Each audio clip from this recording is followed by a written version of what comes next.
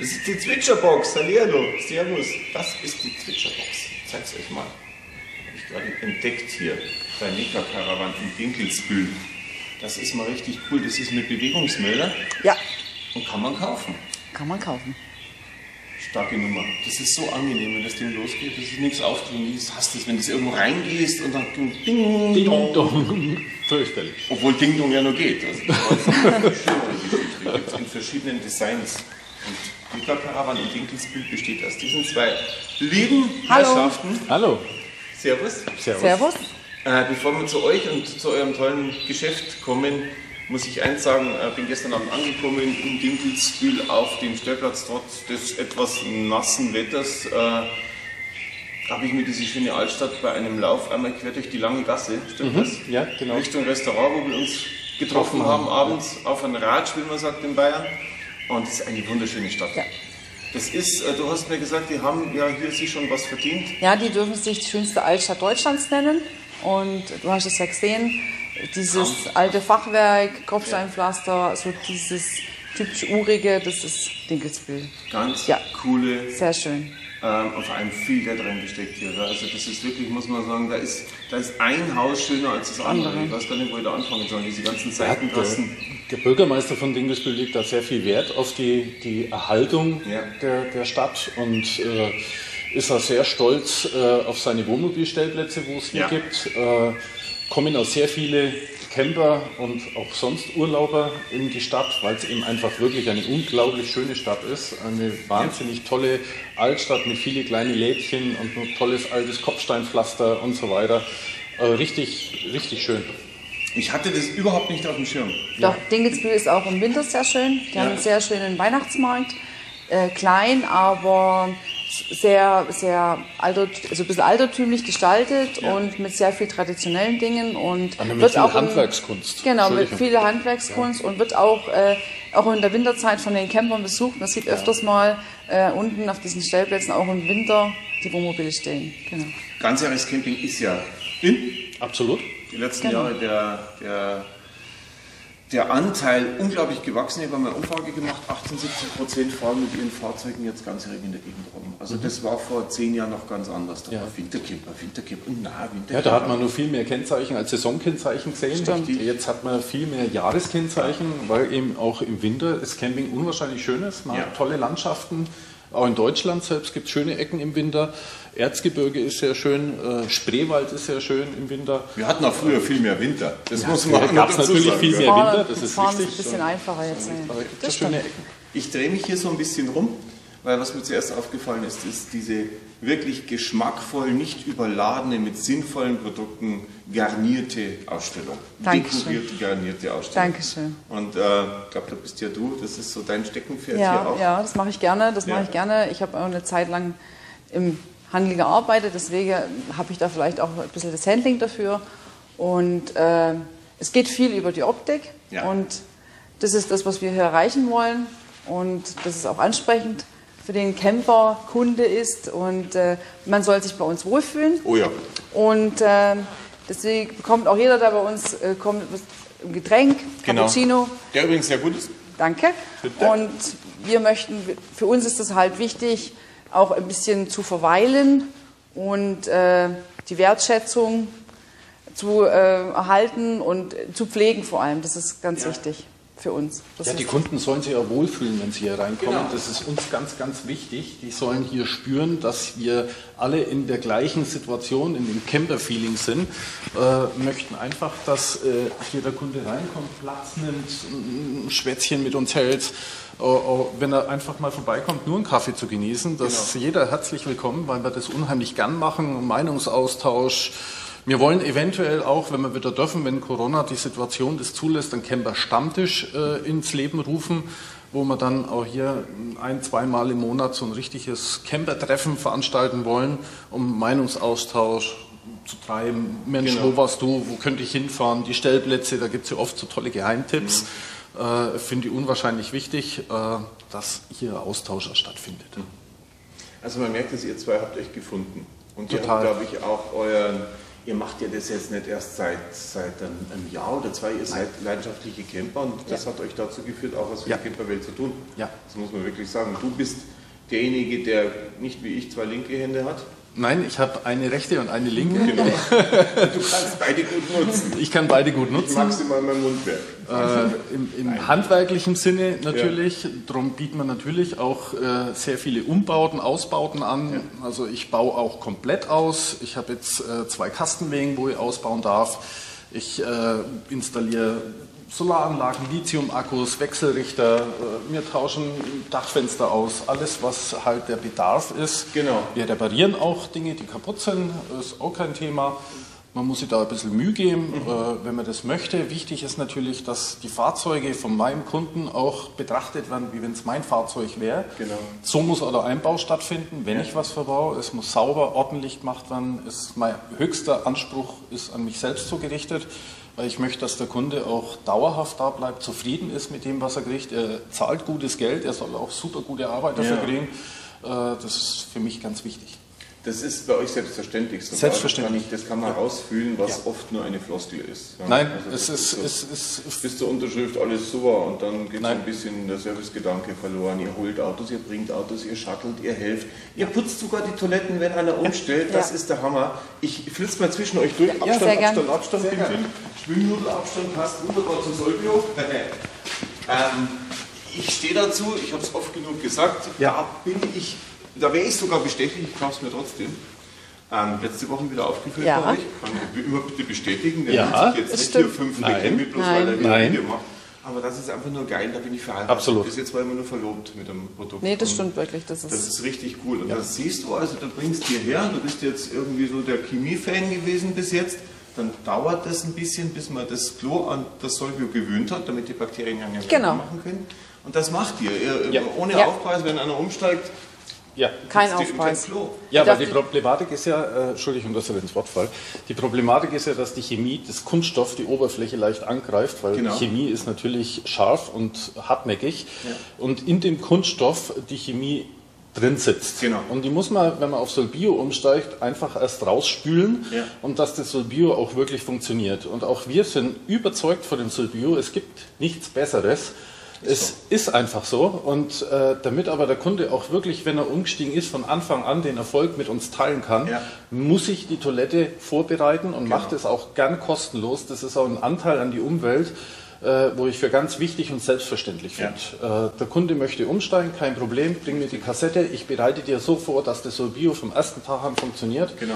Und dann ist der Kunde glücklich, ich bin glücklich, weil wir wieder was für die Umwelt geschaffen haben. Ist so. Und äh, Auch ja. für einen Camper vielleicht, der kommt nach Hause, hat vielleicht noch was drin in der Toilette, er kann es wirklich Genau. in der Toilette entsorgen, er schadet niemandem. Genau. Ich nehme es zum Putzen der Außenhaut, wenn ich die Regennasen drauf habe, genauso wie als Spülmittel. Gebe Also für, zu. die, für unser älter, älteres Modell Wohnmobil, die Nasszelle, habe ich geputzt mit Solbio, perfekt wie neu. Und das riecht noch gut. Also Genau. ich stehe drauf. Genau, ja, genau. genau. Nein, und wir möchten halt eben auch äh, das, dieses äh, erleichtern für den Kunden, weil viele haben die Möglichkeiten nicht daheim, dieses jetzt, äh, ich sage jetzt mal, für diese gewisse Zeit vorzubereiten. Deswegen haben wir gesagt, wir machen das hier, wir haben die Möglichkeiten und das, bei dem einen dauert es vielleicht mal ein bisschen länger und Ja. deswegen haben wir gesagt, wir machen das und das gehört genau. für uns dazu. Das machen ist wir genau gern. diese Vorbereitung Genau. und der Service, den man dazu braucht. Ihr habt auch Dr. Keddo, habe ich gesehen. Habt ihr was dagegen, wenn wir das Vollvideo-Video von, äh, von der CMT oben dazu hängen als Link? Sehr Sehr gern, gern, sehr Darf gern. ich das sehr alles gern. nochmal erklären? Absolut, Sehr gern. sehr Das gern. alles und Jetzt macht er hier bloß noch Werbung für Solvio. Nein, sehr gerne, sehr Das ist gerne. aber so, ich glaube, das bringt uns ja allen Ja. was. Ja. Auch Dr. Keddo schon öfter gefilmt. Ganz liebe Grüße an Dr. Keddo, da habe ich meine ganz charmante Gesprächspartnerin. Okay. Das ist immer so schön auf der Messe, sieht man sich dann. Ja. Ich bin ja gern mal auf Messen. Hoffentlich kommen sie auch bald wieder. Ja. Aber wie gesagt, halt Wir ein hoffen. bisschen Abstand, das kriegen wir hin. Ja. Was ich total cool finde, ich bin ja auch im Wohnmobil immer am gucken, so, du hast halt deinen Lebensraum da um dich rum, wo stehst du gerne, wo sitzt du gerne und ich finde es bei Teilintegrierten schon cool, wenn die so eine Bar haben. So was wünsche ich mir meinem Wohnmobil. ähm, hier, das ist, also das verführt, um noch länger bei euch zu bleiben, als ich es jetzt eh schon tue. Das habt ihr selber gemacht, also Ja, ein Stück. ja, wir haben das selber gemacht. Das ist ein äh, Baum gewesen aus, äh, äh, ja, haben wir im Sägwerk schneiden lassen, dementsprechend auf so eine Platte. Und die haben wir dann selber aufbereitet, die Rinde ein bisschen weggemacht, angeschliffen, dass sie schön sauber ist und äh, mit ein bisschen grundiert, damit die Oberfläche schön glatt ist. Und war mein persönliches Highlight. Ich finde das ganz toll. Ja, weil das ist warm, das ist einladend, das ist self-made. Genau. ist, Wir äh, Camper lieben ja irgendwo ein bisschen die Natur, das gehört ja auch so ein bisschen dazu. Genau. Und äh, darum musste so eine Theke sein. Und es ist so witzig, weil nicht äh, du der Erste bist, sondern dass wirklich jeder sagt immer, hier ist schön und hier will ich stehen bleiben und ich möchte mich gar nicht irgendwo anders Nein, hinsetzen. Dort die, ja, ja, das ist echt witzig, ja. Ja, das ist, das ist cool, ja. Genauso soll es sein. Das, Ja. ist, das ist das Einladende. Ähm, ihr macht Vermietung, macht Verkauf, Verkauf von, von, ja, von den Fahrzeugen, die ihr für richtig erhaltet, äh, wenn man jetzt eine Beratung hat, das muss halt zu einem passen. Also ja. genau, ich, ich verkaufe nicht die Fahrzeuge, die ich für richtig halte, sondern ich verkaufe die Fahrzeuge, was der Kunde gern möchte. Das ist für mich ganz wichtig. Es muss eine Bedarfsanalyse gemacht werden, was der Kunde wünscht, was hat er vor mit dem Fahrzeug, wo möchte er hinfahren mit dem Fahrzeug, wie möchte er sich in dem Fahrzeug aufhalten und äh, verhalten. Dementsprechend machen wir eine schöne Bedarfsanalyse und dann zoomen wir miteinander das Fahrzeug raus, außer der Kunde hat schon eine gewisse Vorstellung. Ja. Dann kann ich auch jedes Fahrzeug besorgen, das ist überhaupt kein Problem. Äh, noch dazu dann das Zubehör dementsprechend äh, einbauen, wenn, eins Bedarf, wenn da Bedarf da ist, Ja. äh, Umbauten machen dementsprechend, sodass es wirklich für ihn eine ganz tolle Heimat ist auf Rädern, wo er sich vom ersten Moment an einfach wohlfühlt. Ja. Und das ist für mich ganz wichtig. Auch hier wird der Servicegedanke natürlich, aber nicht nur Service, weil man da verpflichtend gegenübersteht, sondern Service, weil ich das auch lebe, weil Ja. ich das möchte, weil, weil das mein Anspruch ist und weil ich das einfach, ja, Nur, nur zufriedene Camper kommen wieder. Das Genau. ist halt Genau. was. Genau. Das muss Genau. passen. Genau. Die sind auch gerne, äh, oder sind sehr dankbar für ein offenes Wort. Ich habe das ganz oft erlebt auf Messen und auch bei anderen Händlern. Ja, da ist halt dann irgendwann das Heck querbeet, wo du übereinander drüber steigen musst. Da wird emotional irgendein Schnellschuss gemacht. Auf Ja. der Messe 60.000 Euro ausgegeben und in der ersten Nacht weiß man schon, nee, die Treppe gehe ich nicht mehr rauf. Genau, ja. genau. Und dann fängt das große Heulen an. Genau, man muss ja ganz ehrlich sein, wenn man mal ins fortgeschrittene Alter kommt, äh, wenn man mal 60, 65, 70, man ist nicht mehr ganz so agil und ich muss dann aber die Leitern da hochkrabbeln. Ja. Da ist die Frage, ist das dann wirklich das Richtige für mich oder äh, kann ich nicht wirklich ein anderes Bett nehmen, wo Genau. ich nicht hochsteigen muss oder eine be bequemere Bette, äh, Treppe habe? Ein Grund von vielen, die Von vielen. Ja. genau. Es gibt ganz viele. aneinander vorbeigehen, hast du die Klotür ins Kreuz oder nicht, oder die Ja. Bautür oder wie auch Ja. immer. Ja. Wie viel brauchst du wirklich in der Küche? Ganz reicht genau. der Winkelküche, reich- reicht der Längsküche? Aber wie gesagt, viele Themen, die kriegt ihr hier von den beiden mit Sicherheit. Drum die. Bedarfsanalyse ganz wichtig. Wie koche ich, wie Ja. koche ich viel, koche ich überhaupt äh, und, und, und. Genau. Ähm, Vermietung macht ihr? Ja, Vermietung, ganz wichtig Mit für sehr uns. gut ausgestatteten Fahrzeugen, das kann ich gleich mal vorwegnehmen. Da Ja. werden wir aber nochmal drauf eingehen in Teil 2, wenn wir dann Genau. den schönen Lamarca zeigen. Da können wir es auch wirklich zeigen, dass es Genau. so ist. Also wir vermieten Fahrzeuge, die voll ausgestattet sind. Da ist meine Frau federführend dafür verantwortlich, weil sie ein geniales Feeling dafür hat. Äh, Natürlich weiß sie ganz genau, was man braucht und äh, dementsprechend wird es auch geschmackvoll eingerichtet mit Teller, mit allem drum und dran. Wir möchten einfach, dass der Kunde hierher kommt, der Kunde, der Camper hierher kommt mit seinem Auto, das Auto hier vor der Tür abparkt, seine privaten Sachen, sein Hab und Gut einräumt, was er braucht, um sich nichts weiter kümmern muss und von der ersten Sekunde an Urlaub hat. Der Urlaub muss hier beginnen. ja. Mit einem tollen Cappuccino und ein kleines Gespräch, eine tolle Einführung, damit er sich mit dem Wohnmobil auch vertraut machen kann.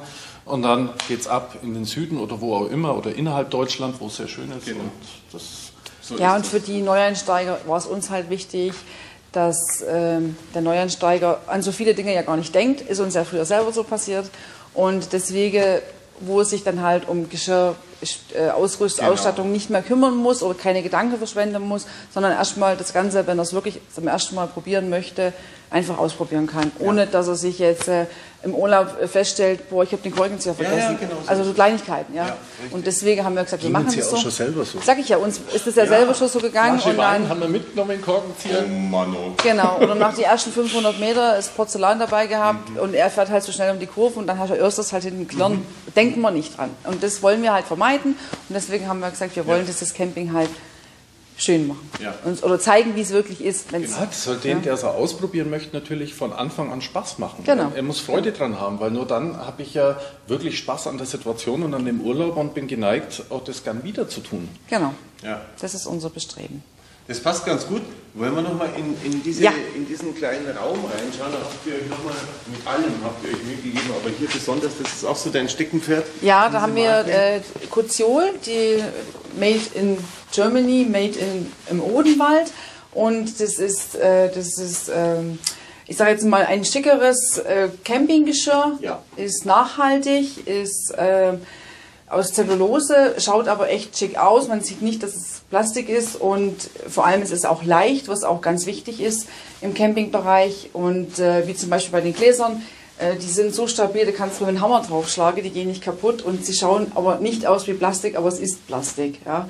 Also und es sind halt so Kleinigkeiten, auf die wir halt geguckt haben, wo ich gesagt habe, es sollte halt wirklich schick sein. ist auch wertig, wertig, genau. Und bei denen zum Beispiel hat man halt innen drinnen kannst du die ineinander, reinst ineinander reinstellen und dann Ja. sind innen drin diese Stapelkante. Sehr geschmackvoll. Genau, und- ja, das war bis jetzt immer so ein Thema. Das war halt so, so typisch Camping. Ja, Genau. Bei jedem das seine natürlich. Wir sind ja wieder bei der Toleranz. Jeder Ganz klar, kann sich das kaufen, was er Was will. er möchte, aber das ist halt mal wieder ein bisschen was anderes und Ja. ich glaube, die haben da ein gutes, gutes Konzept und mir hat das sehr gut gefallen, deswegen habe ich gesagt, das möchte ich gerne. Und mit diesem Geschirr sind auch unsere Fahrzeuge ausgestattet. Siehst du mal. Genau. Da werden auch keine Kosten und Mühen gescheut. Nein. Eben, das ist wieder genau der Punkt, dass man sagt, ein schöner Urlaub muss da beginnen. Du passt so perfekt neben das Bild mit der Sonne hinter dir. Dankeschön. Das spiegelt euch wieder in allem und äh, viel Erfolg. Ihr habt jetzt auch das Unglück erwischt, ähm, lange geplant und dann kam ja jetzt diese Geschichte, ich mag das Wort schon gar nicht mehr sagen, Ja. aber danke im Namen aller Camper fürs Durchhalten und ich glaube, es wird alles gut und ihr seid auf dem richtigen Weg. Das kann ich jetzt mal widerspiegeln, weil solche Leute braucht das Campingland.